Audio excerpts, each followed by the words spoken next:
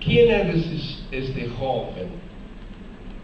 Hicimos unas encuestas y esto es más o menos promedio de Latinoamérica, Uruguay puede ser un poco mejor, un poco peor, pero la mensaje es, primero, estos jóvenes, y hablamos de enseñanza media, básica y media superior, vienen de familias com rendas, com ingressos baixos.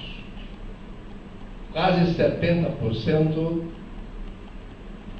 o ingresso familiar está entre um e dois sueldos básicos.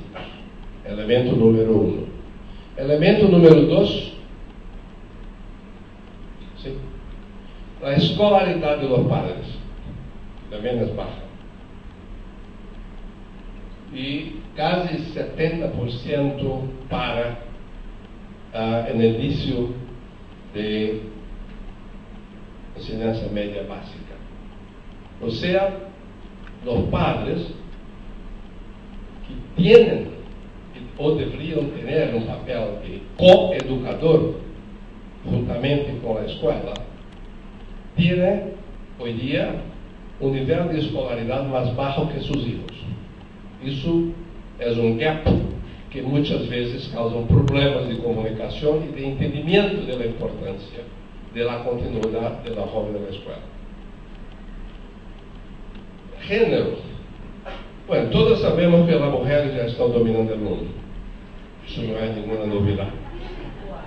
E isto é um espejo das classes de ensinança média superior em Latinoamérica. 60% são mulheres. Os jovens, os pibes, como falam os argentinos, saem da escola antes que as niñas.